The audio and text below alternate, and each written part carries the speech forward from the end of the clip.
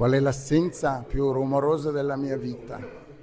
Beh, sul piano più personale, avendo perso entrambi i genitori piuttosto presto, direi che è l'assenza dei miei genitori. Però allargando lo sguardo, mi sembra in questo momento l'assenza più rumorosa sia quella di una capacità di ascoltare le altre persone, i bisogni del mondo